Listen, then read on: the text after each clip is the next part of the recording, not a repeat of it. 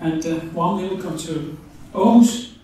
Uh, my name is Rabih Azad-Ahmad. I'm the Mayor of Culture and uh, Sports.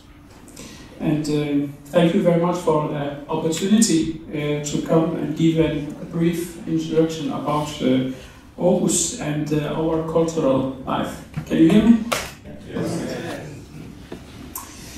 Um, it's, uh, it's a great honor to um, um, for me to present Aarhus for people like you, clever, nerdy people as uh, nerdy people as I also uh, know you are, but you are doing a great work, uh, and I will come back to uh, what what it's uh, open source uh, means for, for us in, in Aarhus. And uh, please feel uh, free to interrupt if there's uh, any question or don't understand what I'm, I'm saying. I'll try to, to make my voice also clear. We are gathered here uh, today to open uh, a new uh, office conference. Um, but as I told, I will try to, to say some few words about about Aarhus and the, the development in Aarhus.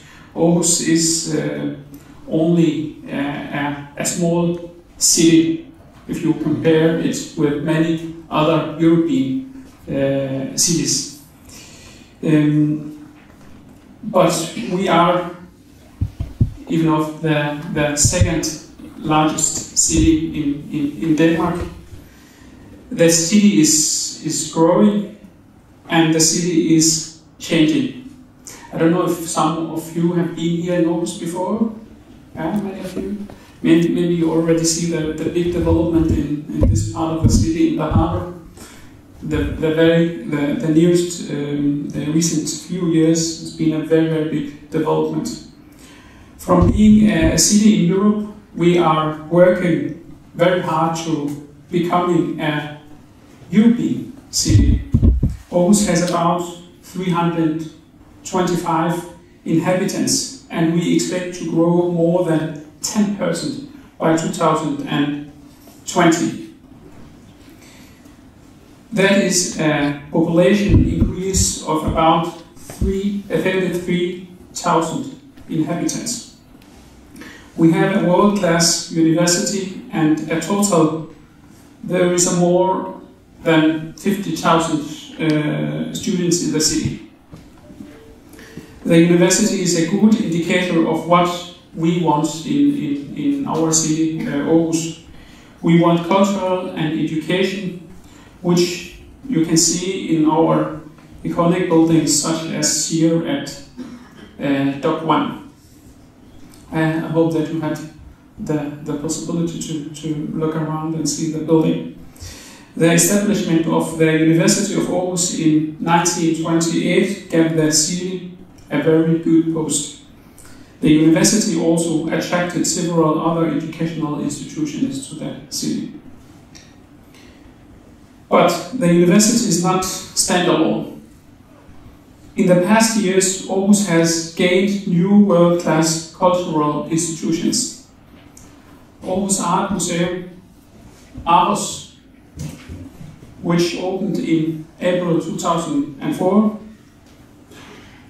The world-famous artist Olafur Eliasson has created the rainbow on the roof called the Rainbow Panorama. I don't know if you have been visiting that place. If you're not, I would suggest you do it. It's really beautiful. You can also have a very, very good view of the of the city from from from the rainbow.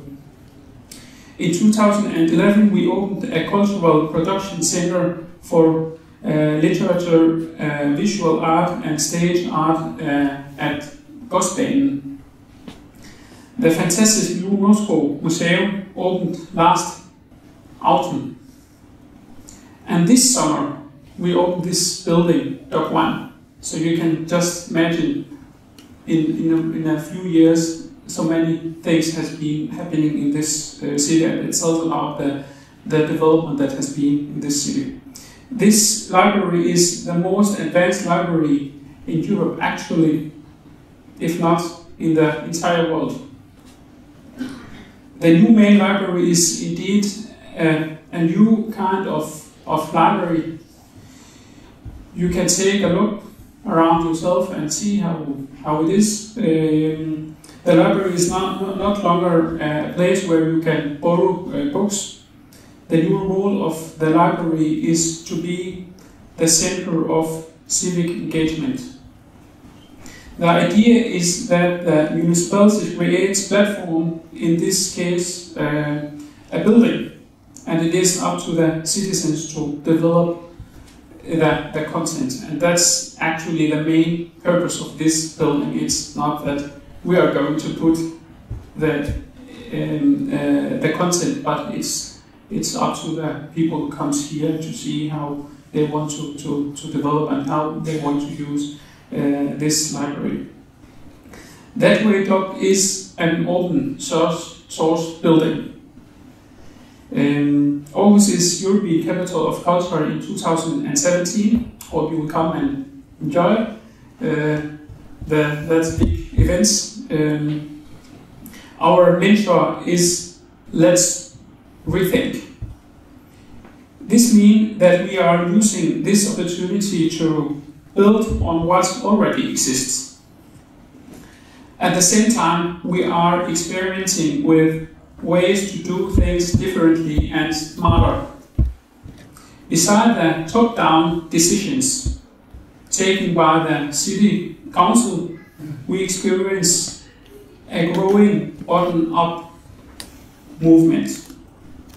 For example, if you need to get rid of an old coach, you will carry it outside your house and wait for the dustman to come and move it. However, the idea of recycling is growing in Aarhus. On Facebook, you will find a group containing more than 30,000 citizens who swap all kinds of old things. Furnitures, electronics, devices, clothes, etc. 30,000 members of a local Facebook group. That is almost 10% of the population in Aarhus. This is not happening because of the let, let's think mantra. Let's really uh, reflect the attitude of Aarhus. A mindset which goes beyond traditional thinking and is a major part of our vision of for the capital of culture.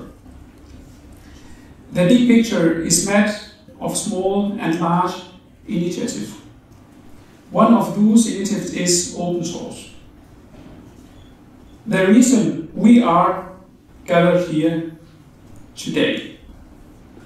In the municipality of Aarhus, we have our attention on open source. We believe that by sharing our knowledge and skills, we are able to make something even better. We believe that when we stand together, we stand stronger. We believe that owning and opening up our data makes us free. Free to work in ways that sorts and brands us as an organization instead of being looking upon as a part of mess. We believe in being open and innovative, which is why open source is a natural way of thinking or rethinking the way we do things. A lot of institutions around the world look upon open source as an interesting new way of thinking and working with IT. LibreOffice is a good example of how an open source initiative can grow really strong. LibreOffice is one of the most used open source programs in the world. It is an example of how an open source project can get popular by as well private users as public institutions. The many people that are here today shows the strength in open source and what difference a community can make if it's believe in its purpose. I'll tell you that we are proud of being the host city of this year's LibreOffice conference. And we hope that you will enjoy your city. I'll tell you a few words about what we have, not at, le at least about our cultural institutions. So I hope that you will enjoy your time here in, in Aarhus, take a look around um, and see how uh, it has been developed and get an cultural experience.